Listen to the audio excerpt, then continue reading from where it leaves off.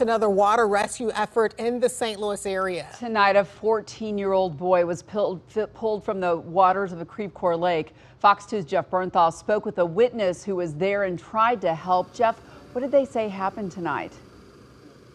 Said it was a very joyous occasion here when uh, suddenly things took a somber and serious tone. This area of Creve Coeur Lake in Maryland Heights flooded with first responders who eventually uh, pulled from the waters a 14 year old child who was taken to an area hospital. The Maryland Heights Fire Protection District, Pattonville Fire Protection District, and Metro West Fire Protection Districts all responding to Creve Coeur Lake. Simultaneous rescue efforts going between boats and shore. Now, first responders did locate the victim offshore. It is the type of operation here first responders sadly say they have seen far too often.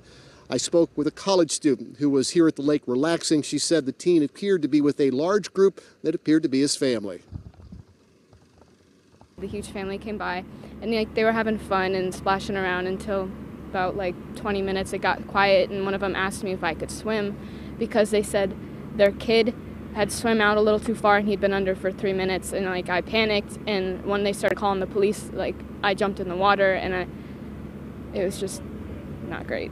We did locate the victim off the shore and uh, he was transported to an area hospital. So uh, the uh, uh, the real take home here is uh, if you are going to be around bodies of water uh, with children is to make sure that we have life jackets on them.